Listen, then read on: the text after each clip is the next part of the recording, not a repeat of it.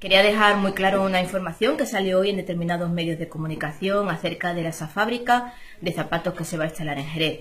Cierta información dice que se creará solo 17 puestos de, de empleo. Eso es rotundamente falso. Me he vuelto a reunir con la empresa esta mañana. Serán más de 100 puestos de trabajo con una inversión de 20 millones de euros y con una subvención por parte del programa Reindus de 14 millones de euros. Esa es la buena noticia para Jerez, una fábrica internacional que se quiere instalar en nuestra ciudad y que va a crear más de 100 puestos de trabajo.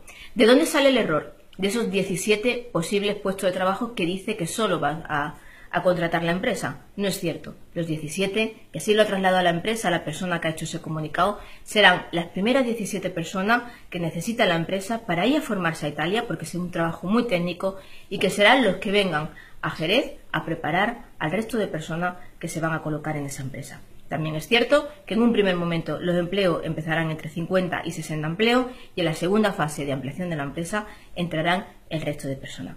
Esa es la buena noticia de Jerez. Me gustaría que Jerez de verdad destacara por estas noticias verdaderas y positivas y no por información que no son exactamente la que tiene nada que ver con la realidad.